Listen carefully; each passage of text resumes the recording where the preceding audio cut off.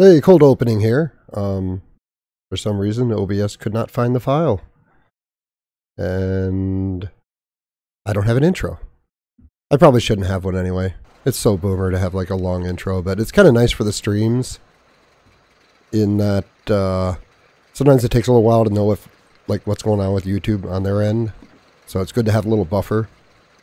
But you don't need like a minute and a half intro like I seem to run. Um, pranks, printing books, and meritocracies. This is mostly going to be about all the freaking wild pranks uh, I pulled when I was uh, in the printing industry. Uh, about half newspapers, half, uh, well, I guess you'd say books. More like softcover catalogs and uh, TV books. Lots of TV books. Um, well, I guess the first play. Well, okay. Here's what I'm doing with the. I suppose I should mention World of Warcraft. I'm I'm gonna check my stream real quick here.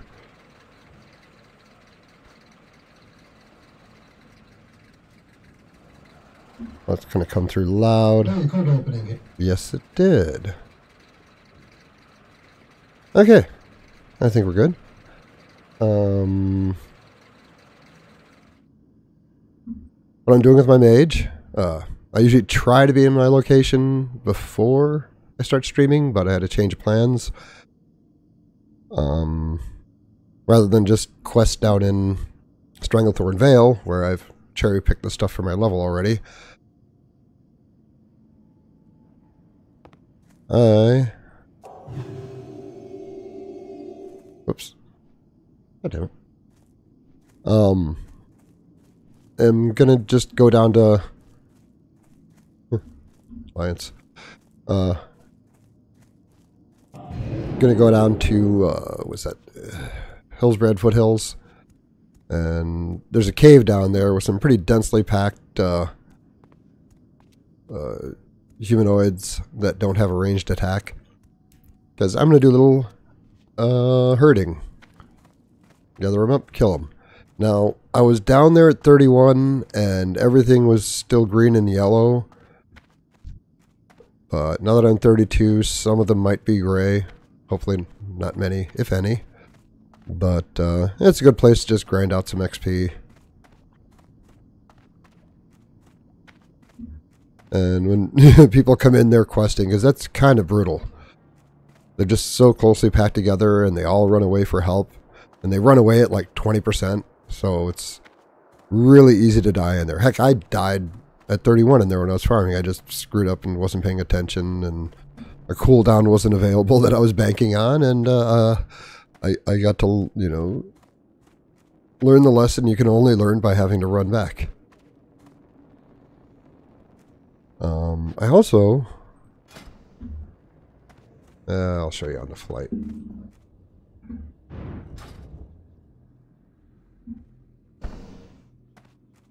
Um, I got a bunch of uh, frost damage gear.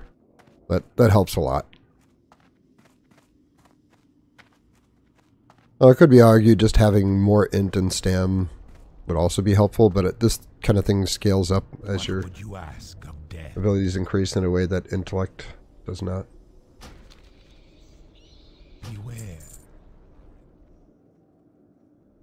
Uh, hope I'm not peaking my mic. I sounded really loud earlier. I'm getting paranoid about that. Well, let's see. I'm going to take another listen once I have a second here.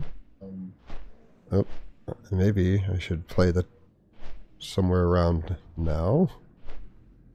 Oh, I got a bunch of uh, frost damage oh, the sound of your own voice recorded. Is there nothing? is there nothing more cringy?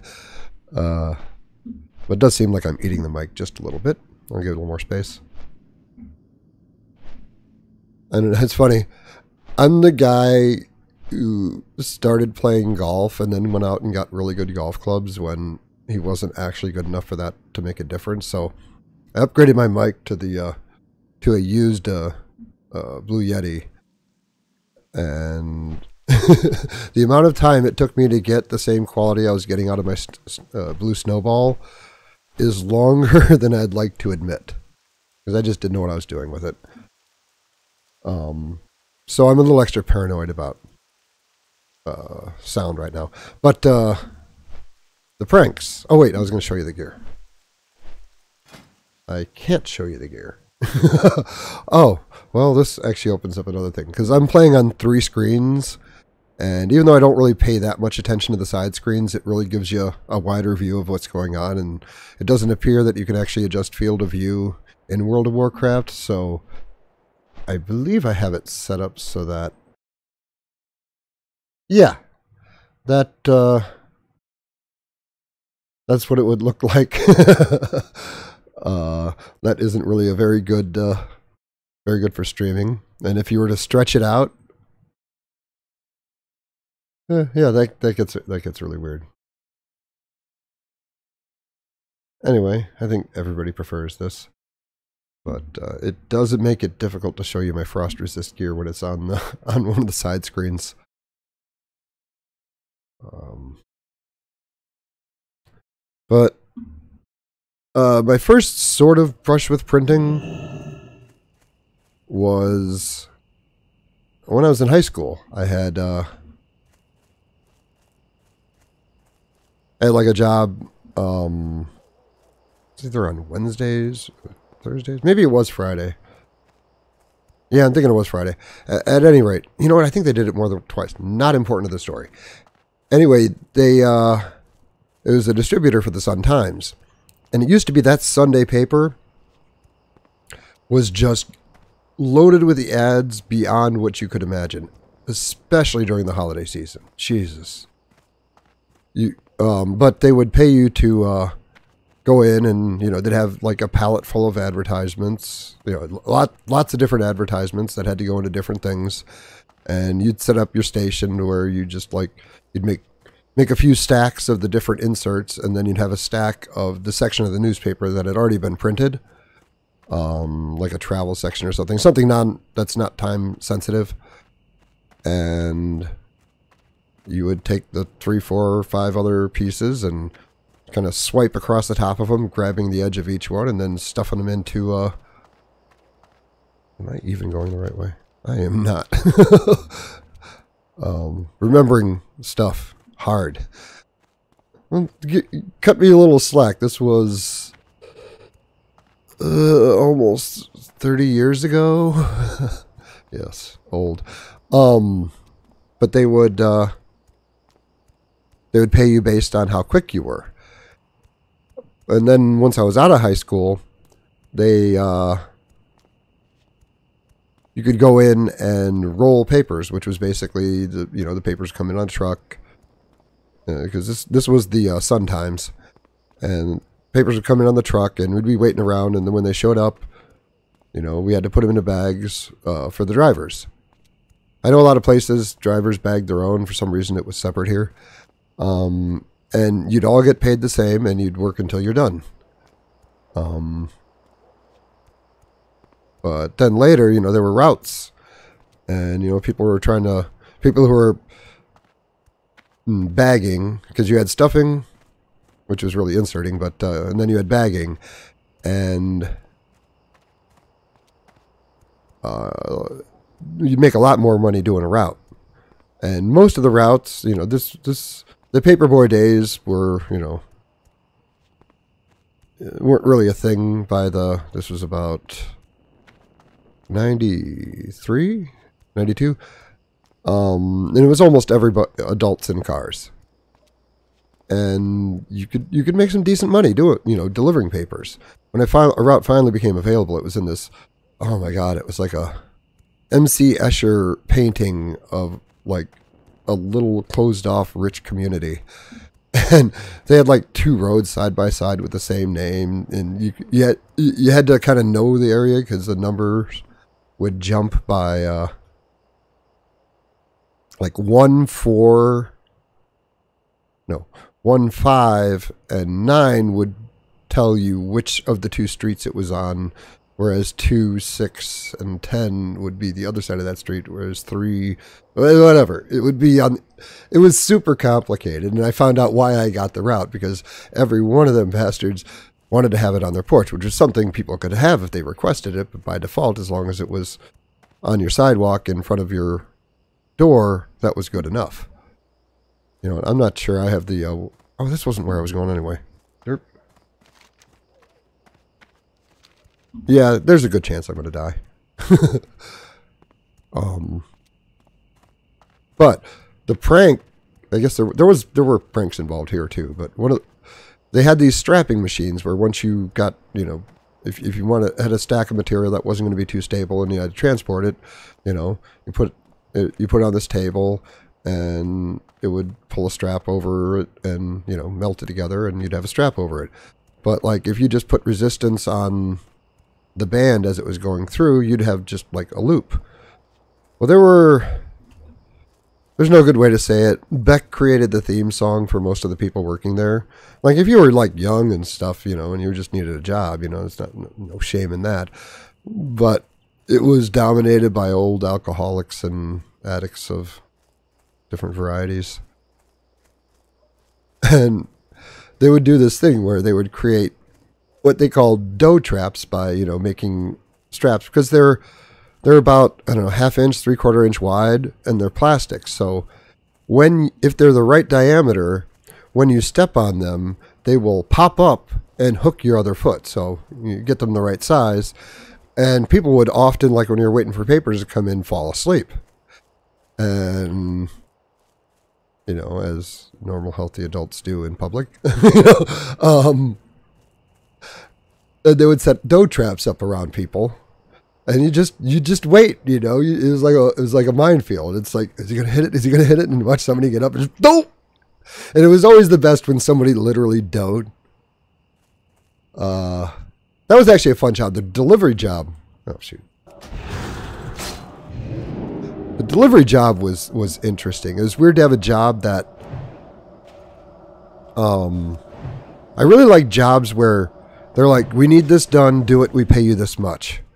When it, it, it really hampers like your creative thinking and I don't know, just functioning as a human to get paid for your time rather than what you do, but you know, so not all, not all systems lend to that.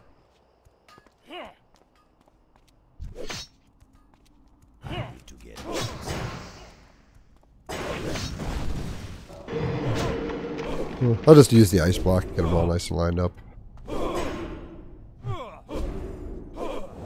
Here's your walk back, a cone of cold. Get a frost nova. Taking some damage, do that. Get a bubble on. Try to hit them before that frost nova goes away. Otherwise, they just charge you.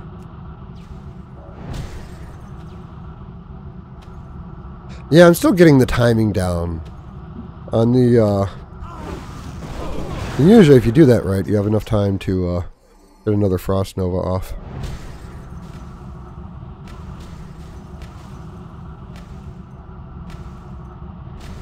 Oh, he, he escaped. You bastard. I am offended by that. And it's kind of nice if like you're watching shows and stuff because it's like you have a lot of action and then you are going to sit down for a while and drink and eat for a long while. Because you know it's nice being able to make your water with a mage but like your water is always crap. Like for you. But that is part of the game of like you know giving you abilities that benefit other people more than you or at least as much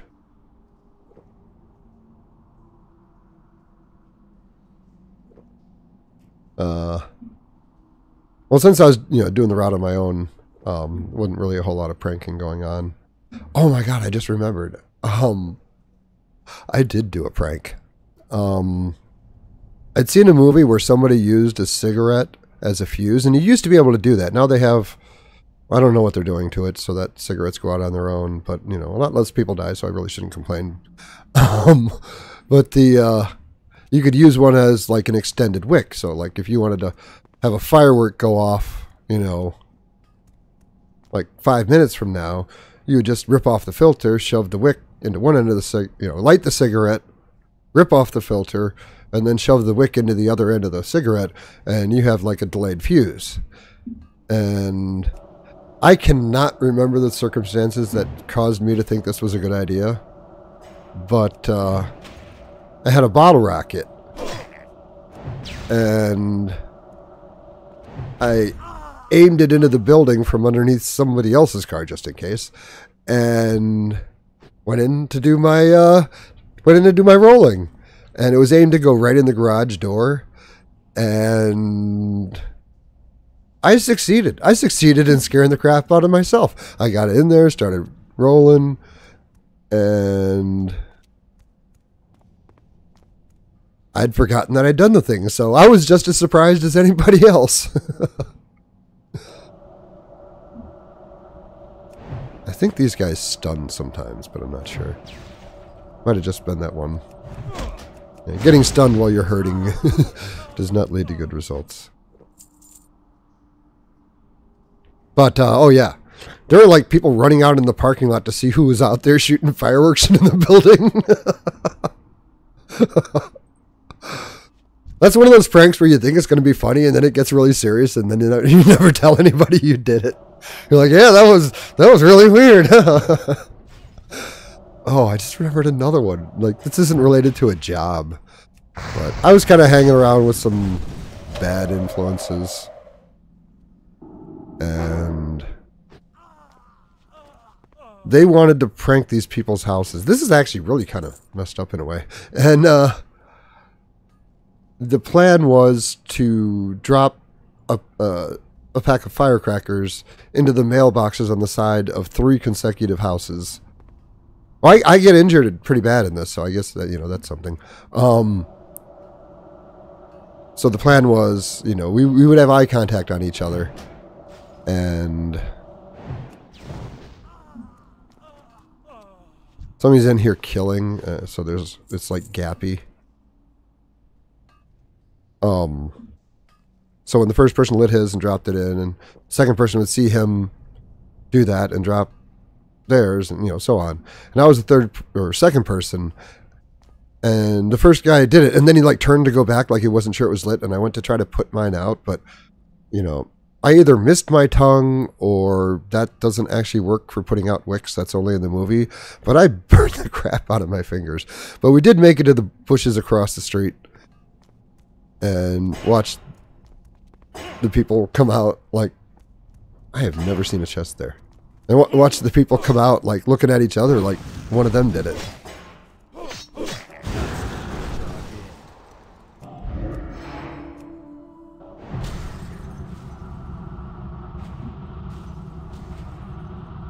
Yeah, my timing was off.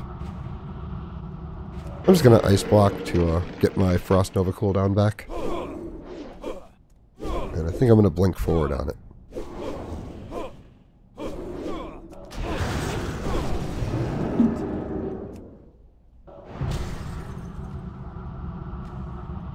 It isn't always a good idea to hit them with the blizzard super early because every every point, you know, every time you damage them, oh my god.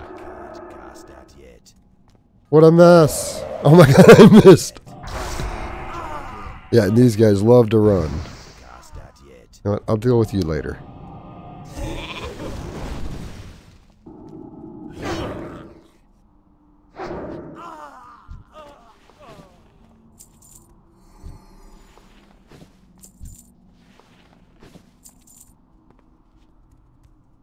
I need a target. yeah. I'm glad I didn't hang around with those guys very long. I, I almost certainly would have ended up in trouble with the law. But I don't know, when you're in a group dynamic and you're like 16, like at the time, like I had the car.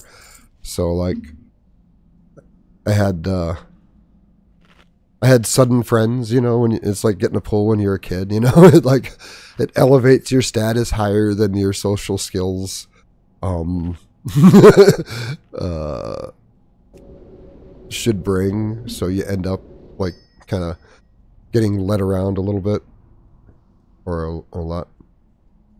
Um, but the first actual printing job I had was I'd moved to a, a new town and I saw that there were there was a local paper or weekly free paper, and that they were looking for inserters, and I'm like, well, I know how to do that, and I was pretty good at it. So I they had the place where you had to go in and uh, I think that's the guy that stuns, or he has like he's got like stealth like rogues guarding him. I'm going to do this first, then I'm going to do the story.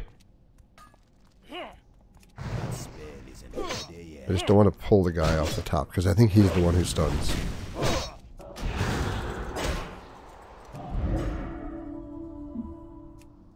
Oh, that's not good. I think I missed one of them. Nope, I didn't.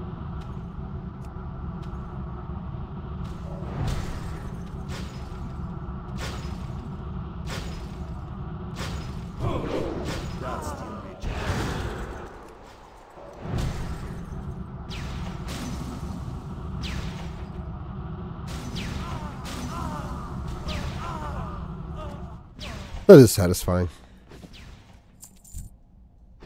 In a way that probably isn't healthy.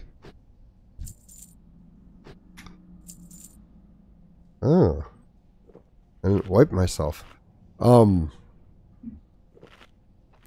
But they gave the, the address of where to apply, and when I went in the front and, that, and said I want to file an application, really? How rude.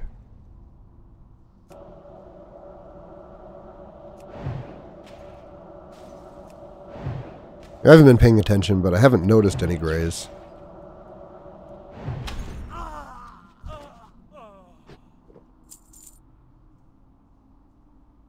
Um, yeah, and I, you know, application, went through stuff, and then they walked me out.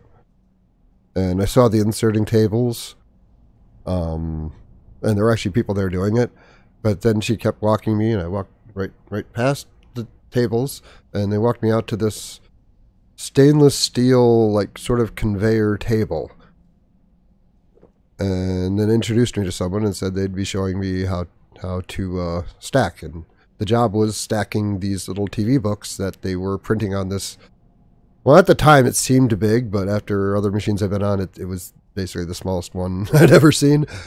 And for if anybody knows anything about printing, this was a Harris V15 uh, with a quarter folder and uh, inline trimmer and glue lines. So you could basically produce on that machine. You could produce up to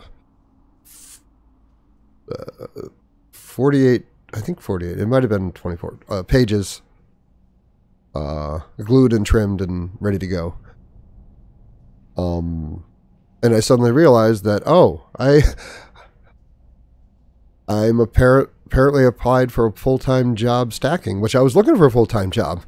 And I'm not sure if there was a miscommunication or whether the people at the printing company were actively nabbing people coming in for the inserting job. I didn't really care. I had like a job that was paying more than I was expecting to get paid, and it was actually full time. And that's how I got into printing.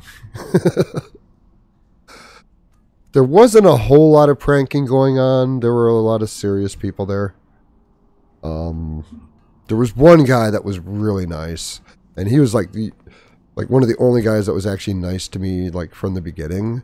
And you have to remember this was 94 95 there's there's been a lot of let's say social progress and for for a gay dude that was this effeminate to be in a testosterone like driven environment, which printing most certainly is. Like, like you gotta you gotta be a special kind of tough, you know.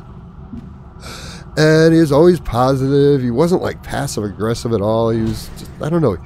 He was just such a nice guy. But the funny the funniest thing is like. Oh, there was a thing like all basically all the head pressmen did when like the machines weren't working right. They would cuss it out and literally hit the machine. Now these things were freaking many many tons of steel. So you weren't you weren't hurting anything, and you know they'd always they knew the machine. They knew where they could hit it without any possibility of doing actual damage, and where to hit it that would make the most noise that would cause no damage. um, like God, you know, just everything you can imagine. And uh, when this guy did it, he would just like kind of like effeminately slap the side of the machine and go, "Damn it, why won't you work?" Ah, it was it was the funniest thing, but it was like out of love, like like I don't know how you're doing this. I I'm different for less obvious reasons, and it's more that I can handle. I don't know how you're pulling it off, but uh, I'm trying to think any pranks we did there. Oh, there was the oil can prank. Oh, this this is evil. There was a guy who uh I don't know, he, he liked to brag. And he got he'd gotten this used car. I forget what it was. He thought it was really cool anyway. And he'd actually like you know, there wasn't like a rule about not pulling your car in Okay, this might I might I might have bitten off more than I can chew. But I can't give up now. I never came back for that chest. God damn it. Yeah, I think I'm just gonna Yeah, that's bad. I am probably dead.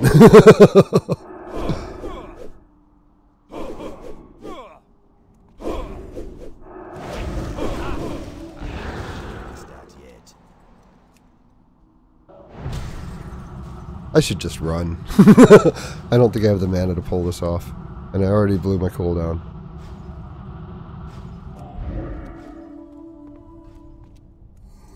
If I can just vie to my Frost Nova cooldown.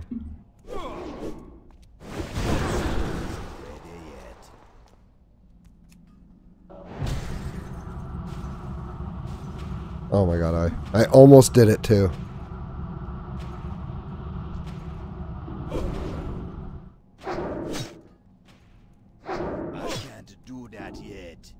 I deserved that. I bit off more than I could chew.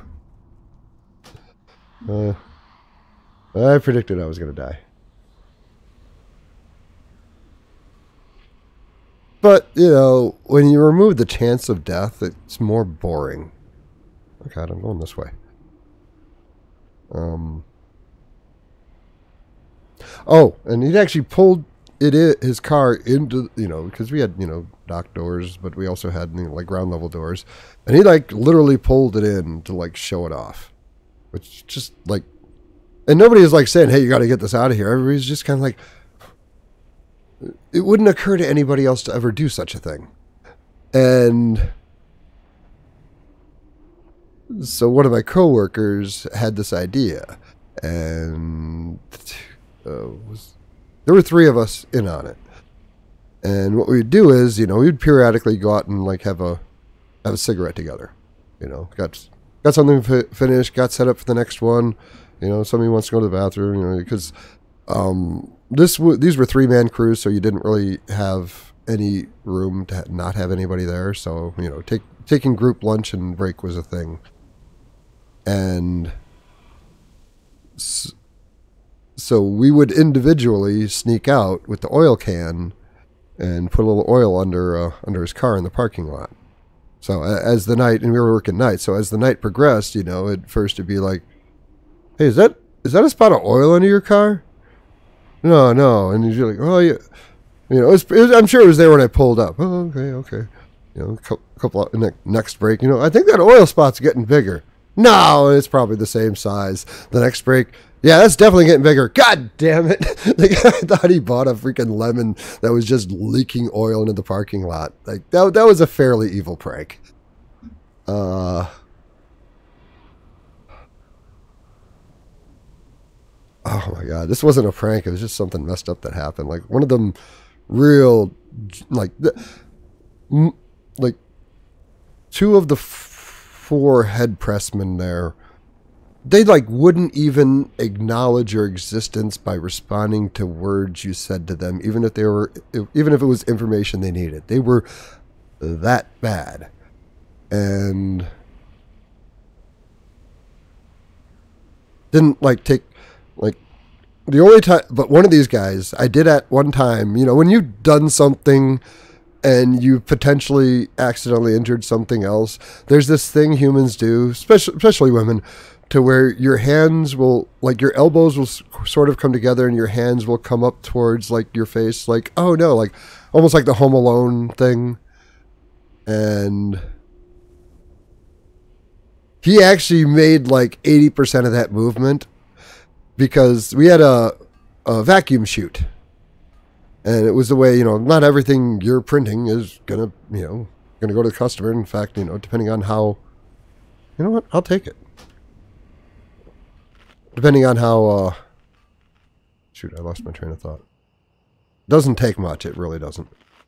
Um, oh, the, the vacuum chute.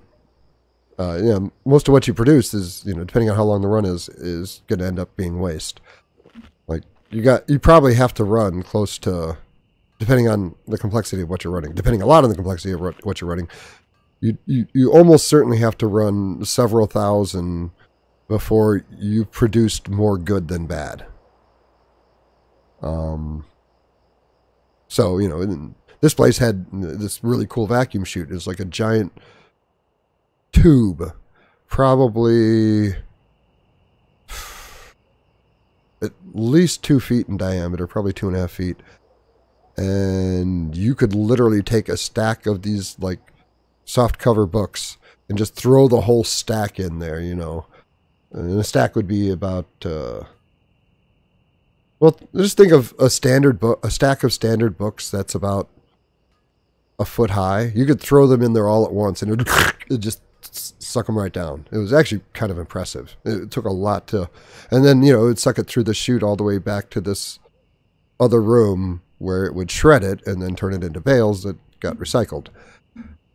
Um, as you might imagine, occasionally other things end up getting sucked down the chute.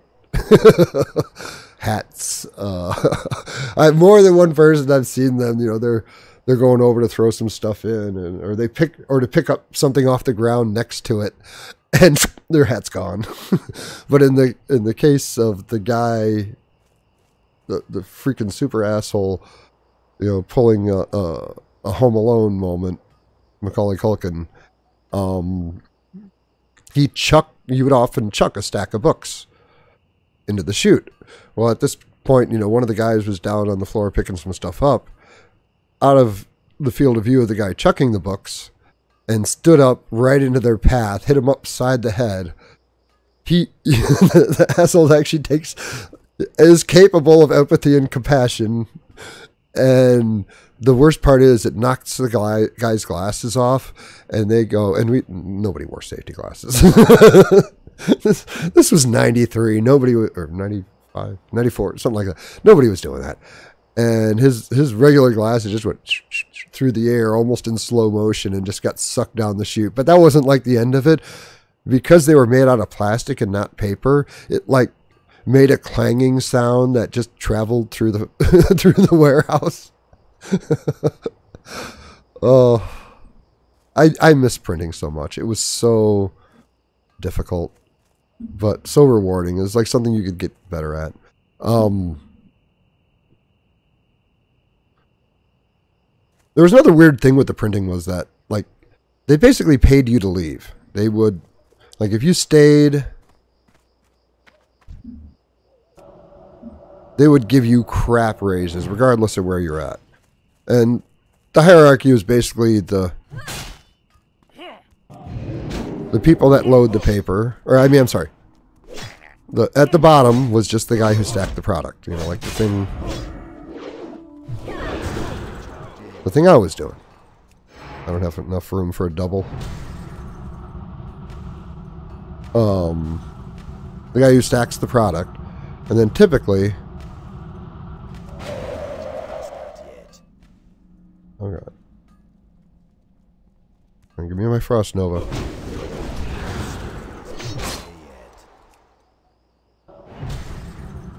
Oh god damn it. Oh, and I got nothing.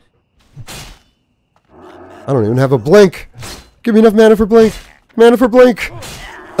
okay. Clearly, I can't do both of these things at the same time. Um, I will go recover my body. Uh, yeah, maybe should have quested in Stranglethorn Vale. Still could. Maybe I will.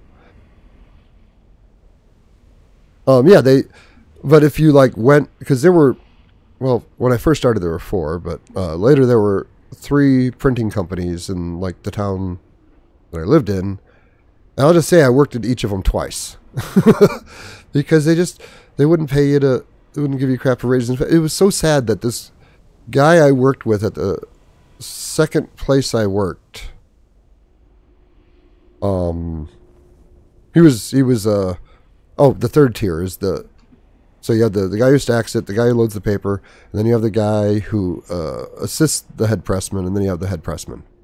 And regardless of what position you were in, they would just give you crap raises.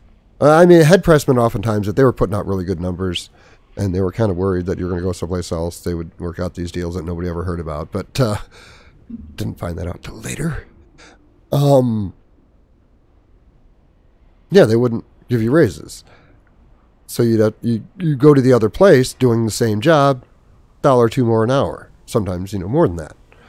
Um, so I had to hop, but I I remember like after like eight years or something, I came back to you know one of the places that I worked before, and that guy who was above me was now doing the same job as me, but making so much less and it's just I don't know. I guess I'm not sure if there's a point there. It was just weird that that was the case. Um, but the second place I went to, shoot, was it the newspaper?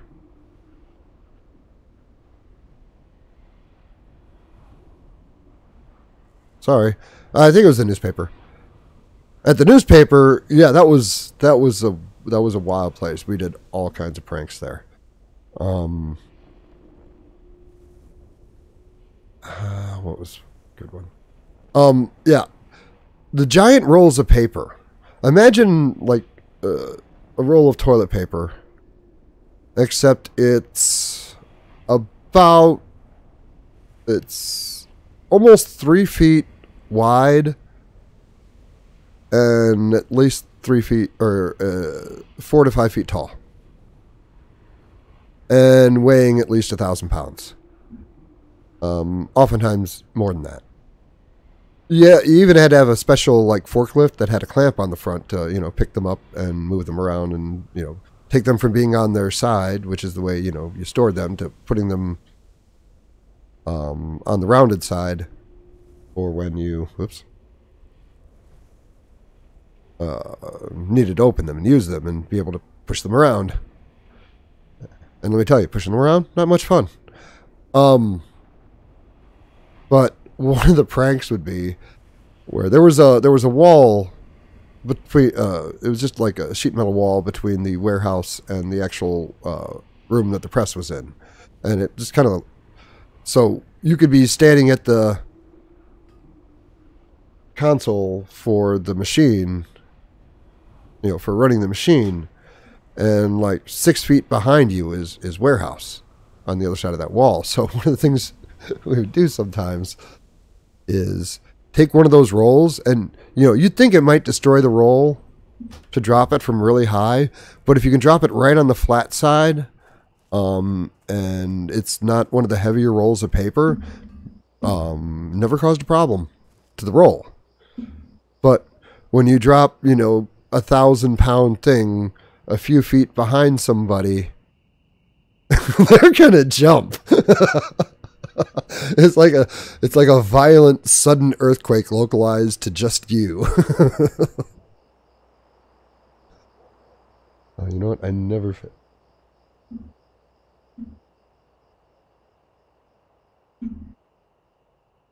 Huh. Sorry, just noticed something.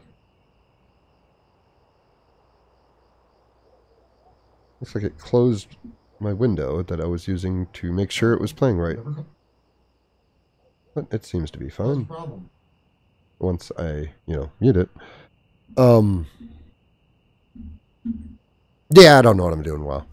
I think I'm just going to head back down to uh, Stranglethorn Vale and Quest. Oh man, this is such a long trip. Wait a minute. Wait a minute. I have not. Oh! I guess I'll have to do it the old fashioned way. Um. Oh, probably. Probably the worst one. There was there was a prank that we would do where this this you know there was ink and oil like everywhere, and you could be really diligent in cleaning, but you know it was an old machine, and if anybody's curious, um, what was it at this time? It was a uh, it was a Goss Urbanite, you know, and it, was, it had stacked units, um, an upper deck uh, forward, two folders, one for newspapers, one for commercial work, uh, one end that was strictly for four color. Like it was, it was the size of like I don't know, two or three fire engines. Th- this was a big machine. Forgot what my point was. uh, what was the prank? Yeah, the oil prank, the roll prank. Oh, um, there would often be just you know spots of oil, like some somebody spilled, or you know the the unit was you know like spraying, or you know whatever. You know you there would be spots of oil, and you know the the deck plates, which is basically what you would stand on when you're standing in between the units. Um, it would often end up on there, and you know you would get home and like you'd, you'd have a you know if you're working on if you're working on the black end of the machine, you come home and you just like got brown shampoo water going down the drain. But if you're working on the color end, you'd have like a rainbow, you know, because you just get so much ink on you. You can only get so much off at work, and if you get it in your hair, it's like that's not coming out till you shower. Um, but one of the one of the pranks we would do is, uh, well, often oftentimes, um, you know, what? let's make this interesting.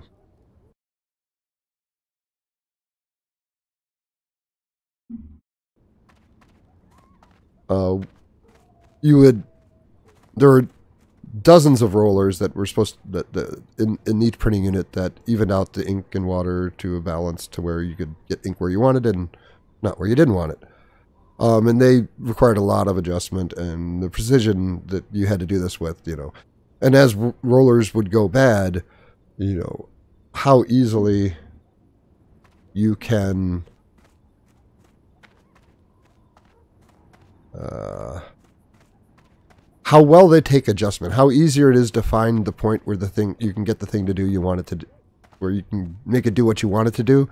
Gets more and more difficult as you know the parts age and people pick up tricks and it's really common to be like hey i tried doing this thing and i can't seem to do it and then you watch them do it and you might even learn something and there was a there was a real sharing you know it was like there was a real you know you you and your team against the machine kind of attitude so there wasn't a there wasn't i mean it did happen in certain areas but like for the most part you know people were cool about that but you'd be like man i can't this vibrator roller, you know, uh, next next to the ductor, it's I can't seem to get it locked down in, in, the right spot. I tried loosening up the other side, but I can't seem to find it, and it's just not picking up water right. And the real reason you told him that that roller's fine, there's nothing wrong with it, but there was a puddle of red ink that um, was kind of obscured behind something. So when he went in to sit on the deck plate, and he went around to play around with it. He's like, "Oh, I got that. That was easy. I don't know what your problem was." I'm like, "Oh, I'm, I'm, I, apparently I'm retarded." He walks. He's got this big blotch of red ink right on his butt. But then it got weird because like he didn't notice it, and nobody wanted to tell him. And then eventually we noticed he was he wasn't like out on the line, and or I noticed that he you know you always tell someone when you leave the line you go to the bathroom or whatever just so they you know just so they know. It's it's a, kind of a safety thing. So I didn't realize he'd left. You know, I didn't see him. I asked the other guy, and then he went to the bathroom. It's like, oh, I hope he's taking a crap. guy comes in, comes in. He is livid. He is just calling us every name in the book. And let me tell you, in the press room, the F word and the S word will dominate a sentence by by the numbers. and he he laid it out. I think I learned maybe one or two new insults. I was in there. I was just taking a crap, and then I went to wipe my ass, and all I'm seeing is red. And there's red on the toilet paper. There's red in the toilet. I thought I was dying. oh, that wasn't actually the plan. The plan was just make somebody sit in ink. That was just a bonus. oh. There were two guys I don't know if I should get into this, but uh, there were there were two guys who just like whenever they had the opportunity, they'd try to hit each other in the nuts with the wrench. And a lot of times you're you know you're trying to reach things and work on stuff, and you know you're you're, you're leaving yourself a bit exposed. Well, if they happen to be walking by while the other guy was in that position, just, just pop, just bump him right in the dick with the with the wrench. You know, sometimes a little bit lower, just Although things kind of evolved with those two to where, like, I'm not sure where you make make the transition from you know just you know injuring each other in funny ways to playing grab ass, but eventually it got there, and at some point I, it, evolved to uh, those two getting a prostitute who I imagine didn't have a whole lot to do you know, one of those situations. Um, but oh, what's some of the other pranks? Oh, the, yeah. If you if you what what are the because we would have temps go through that would you know uh, be stacking the product because you know that was something for the most part you could show people how to do and like you didn't really get good speed and quality for a while but you could have you know temporary staff you know basically trained to keep up.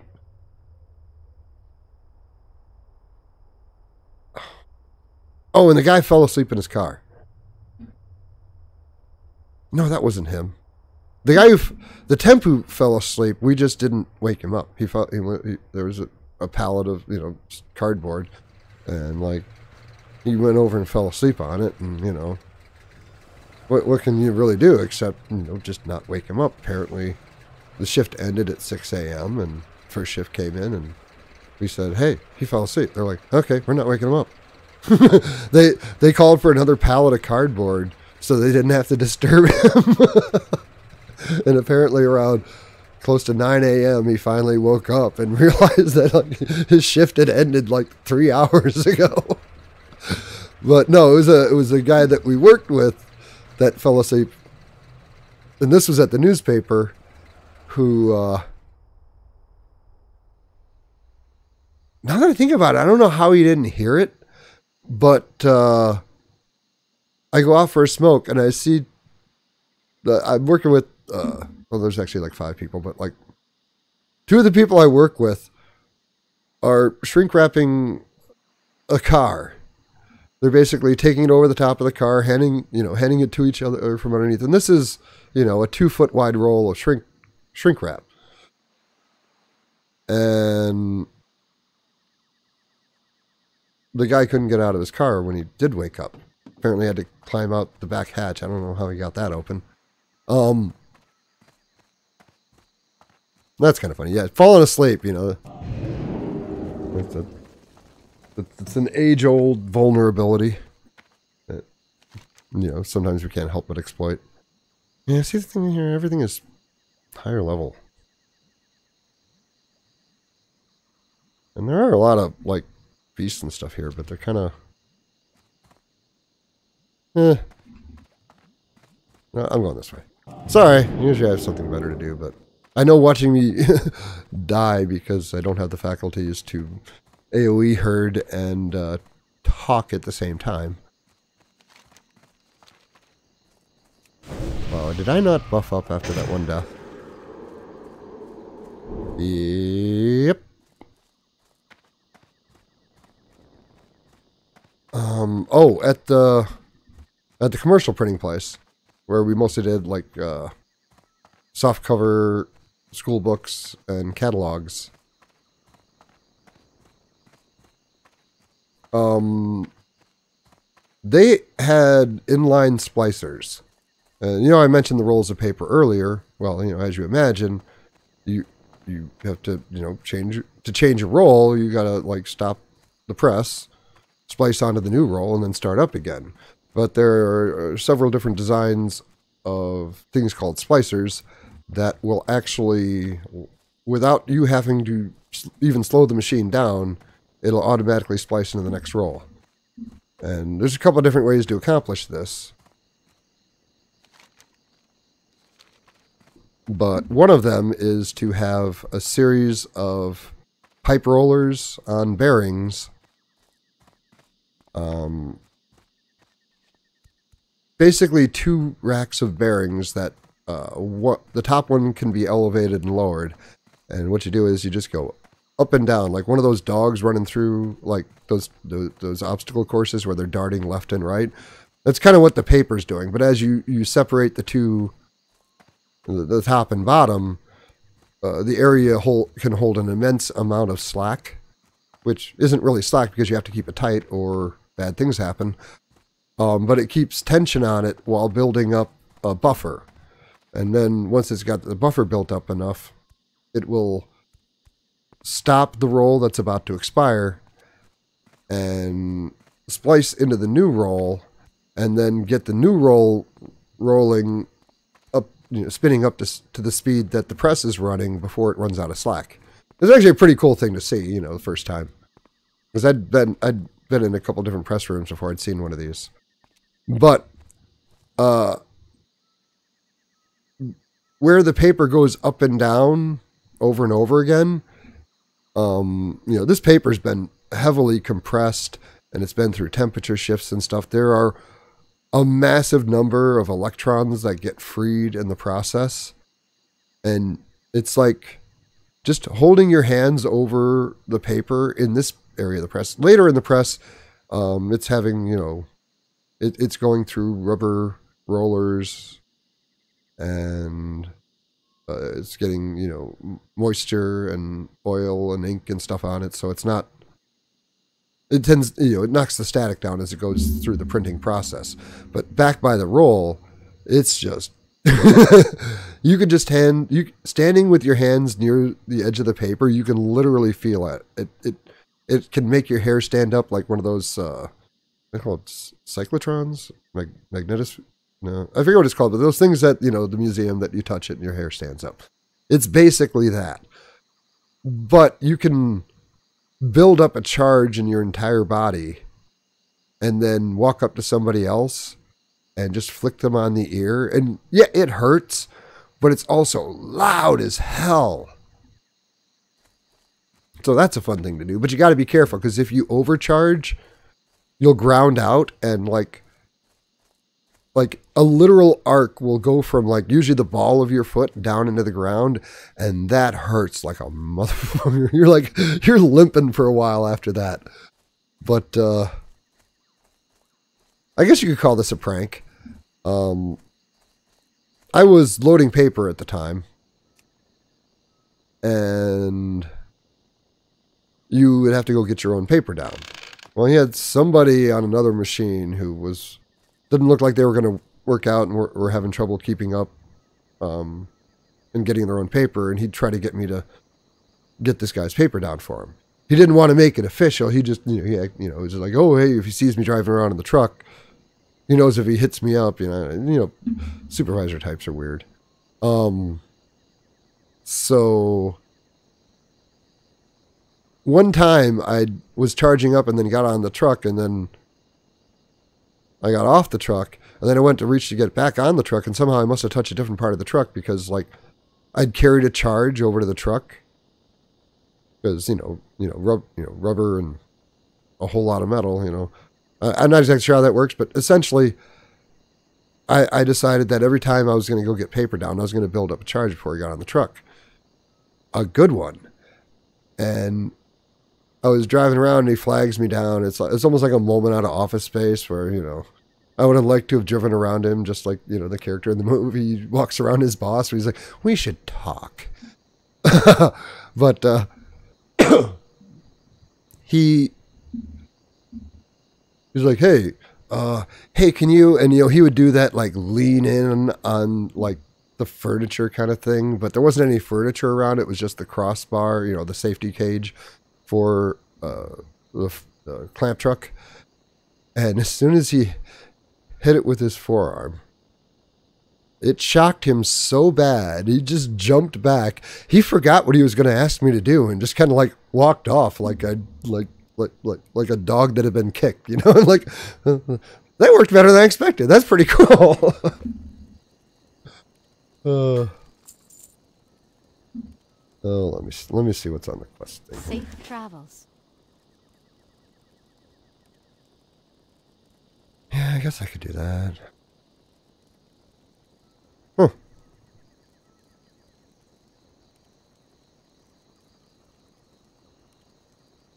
You know, I think there are some blood scalpers that aren't that high. I probably won't be able to herd them, but I think that they have ranged attack and stuff, so I would wouldn't have been able to do that anyway. Um.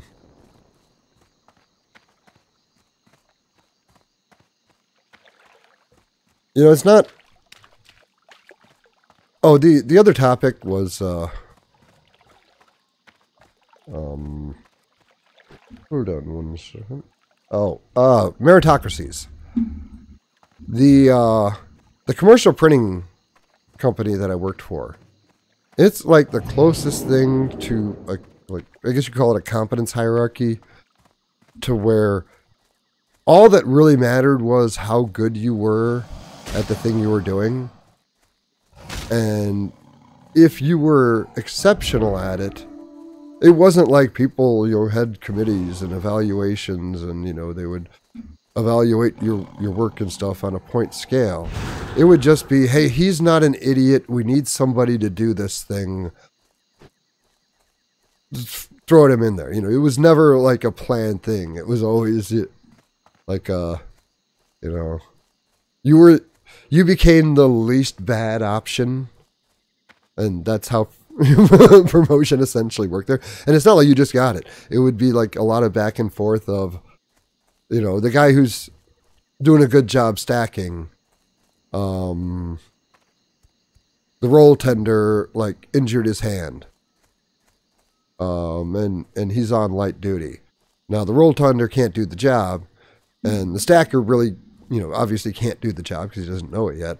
But if you bring a temp in while the guy's on light duty, the stacker who already has you know like this working relationship with the roll tender you know will end up, end up getting trained and even if it's not like a lot of times it would just like happen once or twice or here and there but like every everything was like kind of a step closer and it was it was amazing like on my i was on like the much more difficult to run machine it was for anybody curious, it was a Hantscho Mark IV. It was a five color. Um, it had a lot of toys, but we we we could produce we produced like magazine quality, like you know, like the best quality magazines you've seen printed. Like that was the kind of quality we could achieve. Well, that you've seen. I could see the difference. I could see how much crappier mine was, but the average person wouldn't be able to notice the difference. Um, and there was basically an IQ cutoff. Like, if you didn't, if you weren't like at least around 85, you probably weren't going to be able to stack books. Because it wasn't just like take books from here. It was there was actually you know some mechanical aptitude involved. But most people, even if they weren't particularly bright, you know, would would be able to get the basics. But like there was a there was a point of like mastery to where the person like really understood it so well. And once every when someone hit the mastery, you know, mastery of it, nobody called it this. Is kind of what I'm describing it as now. It was it was kind of obvious in that like they all hit the, like the same. Like there was a there was a ceiling of how good you could get at it just based on the physical limitations of what you're doing. And I think, you know, people would subconsciously recognize when people hit that. So when they were looking for options to fill other spots, it would just like, it would just subconsciously go to that. But if you I, I would say you probably needed an IQ of 120 to roll tend because you had to coordinate a lot of different activities, plan in advance. There was a lot of precision involved, and um, you had to do things that were a lot of very precise things you had to do fairly quickly. But if you were an underachieving, you know, you know, near genius level, like I had this one roll tender, um, he would spend almost half his night outside reading a book and smoking. Why? Because I didn't give it. As long as he took care of everything he needed to take care of, and he was there when I needed him. I told him straight up, I don't give a shit what you do with the rest of your time. You know, uh, you could go in the bathroom, and you know, I'm not going to finish that. Um, but what he did was, is he would get ahead, get everything straightened out, get everything organized, be there for you know the changeovers and stuff, and then he would know that he would have this span if he, he had certain things in a certain place by a certain time. He would set his watch like a like a 20 minute timer, and then just go out in the parking lot and sit down on a box and read his book and smoke a cigarette. And he'd probably spend almost you know half of every hour out there. But that was just because he was that good. Another guy who was at you know borderline smart enough to be able to do the job, he would be like sweaty and exhausted after that same night. You know, it, that's like the first stage where it starts to become obvious that uh, um, your grasp of what you're doing has an enormous impact on you know what you can do. And the same thing, you know, if you appear to be like uh, the sophistication of roll tending being much higher than stack, you know, jogging is what they called it, stacking the books. Um, it's fuzzier because it's more complex, so you don't have like the same level of mastery. Like, like if there wasn't level mastery, this guy shot right through it, you know. and it is, you know, it is a thing you don't see very often anymore with jobs, to where it's like, especially like a lot of places, you'll have a workload assignment. And if you figure out how to do be more efficient and get more done, in most places now, your reward will be a bigger workload for no more pay. And that just kind of destroys, you know, grassroots innovation that comes from, you know, the people actually doing the labor. Because when they find out that, you know, oh, I don't benefit from this, it's kind of, I don't want to get political, but it's kind of the difference between, like, you know, socialism and capitalism. It's like there's a motivation structure that brings value into the system when people can benefit from you know what they're doing or indirectly um, but to be an actual you know pressman press operator you know there, there are different names for the role you need to I, I would guess you know no no less than 140 which if you don't know the numbers that's like that's like you probably know several people at that level. There's a there's a steep curve after that point, as I understand it. Um, and to be honest, I don't think you're going to find a head pressman in that environment that was less than 150. Like these guys were crazy smart. There was a guy that wasn't quite there, but he was an expert schmooze, so he could get away with producing lower quality by schmoozing, you know, the customer, you know, service reps and the people in the office but that just gave him enough of a quality, you know, dispensation that he could keep up with everybody else's numbers. So, yeah, this is why it's not like a pure, you know, competence hierarchy because, you know, his ability to schmooze did have an impact, but, you know, it wasn't as much as you would see anywhere else. But like there was this one guy I, I, I wish I could remember his name. I just remember him as like like the hillbilly genius.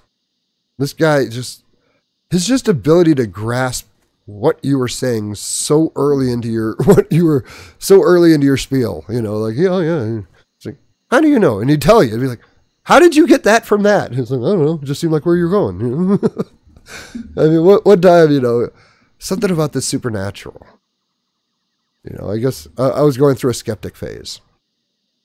He said supernatural Ain't no ain't no supernatural. Everything that is is part of nature, right? So what what the hell is supernature? It was, it was like he he said it so much better than that, and probably more hillbilly than I was able to muster.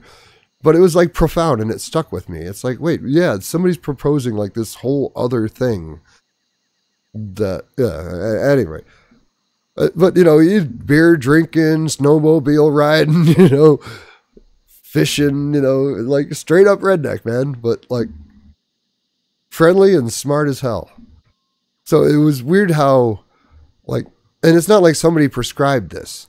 It's just you had these, you have a list of responsibilities of things that need to be done, and they, you know, they they they slope in complexity. But yeah, it would it'd be years, you know. People, somebody might you know stack books for years before even like, you know, moving up to roll tender. You know, I think the fastest anybody could, regardless. Uh, basically, I think the fastest anybody could move up through the system from the beginning would probably be five years, and that would be breakneck. I I did it in just a little bit more than that, but I also had the benefit of working with a lot of different people, a lot of different environments, and getting a lot of different perspectives. Because newspaper printing and commercial printing are like very different animals, and then like web printing, which is where you're printing off rolls of paper, and sheet fed printing are like entirely different worlds. And printing is dead now, like in my eyes. Like books and catalogs and like the things that would require a web press. Like I mean, obviously they still print books, but just not to the level they did. And even in like like the was it late '90s, early early 2000s, um, pretty much the only people that pretty much all our customers at the commercial printing place were archaic institutions like old companies that still wanted to put out catalogs because you know a lot of their population was too old to use the internet. And and education educational material because you know and sad thing is still to this day they're still making them do books. Like you, you can get like nice tablets bought, bought in bulk for like 50 bucks a piece. You know that will do educational stuff. You're not going to game on them but you don't need to game on them. Um but they're still making the kids carry like all these books. Like ridiculous. Sorry sidetracked there. Um should kill something huh? I just having fun talking about this i guess Oh, I should check and see if anybody's actually watching. I wonder how long I've been going. Over an hour. How about that? Two people. That's about my average. Um, I am actually getting thirsty. Just give me a second.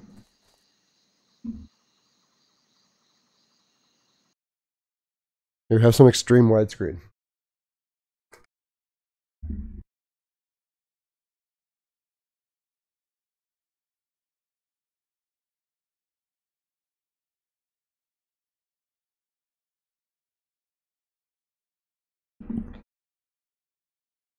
I love having a mute button on my mic now. Um, it was really nice, like an actual team environment.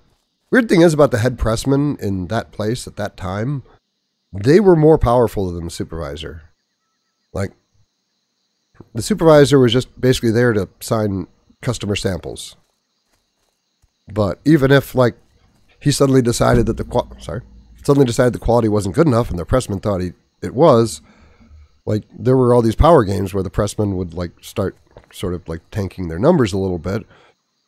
And then, you know, to escalate things, and then when they'd have the talk, it'd be like, well, like I, I I know what quality the customer wants. I've been running this, you know, I've been doing this publication for a while, and I haven't been getting any complaints.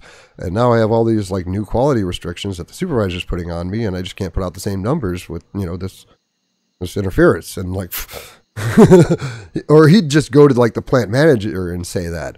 And then i'm sure there was some conversation between the plant manager and that shift supervisor that said back off.